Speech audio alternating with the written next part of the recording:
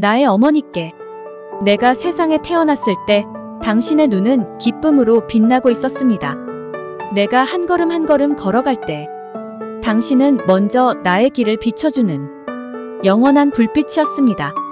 내가 커갈 때 당신의 손은 나를 가까이 붙들어 주었고 나의 두려움을 진정시켜 주었습니다.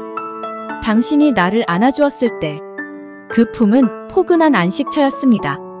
내가 아플 때 당신은 내 곁을 떠나지 않았고 그 얼굴에 걱정이 새겨져 있습니다.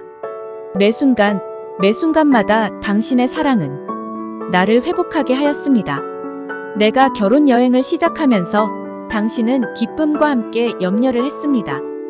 결혼 서약하는 날부터 새 생명을 가질 때까지 당신은 나의 행복을 함께 나누며 중요한 역할을 했습니다.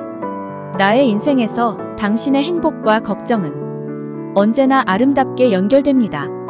당신의 사랑은 응원의 멜로디며 나를 향한 희망의 노래입니다. 이제 당신에게 감사를 보냅니다.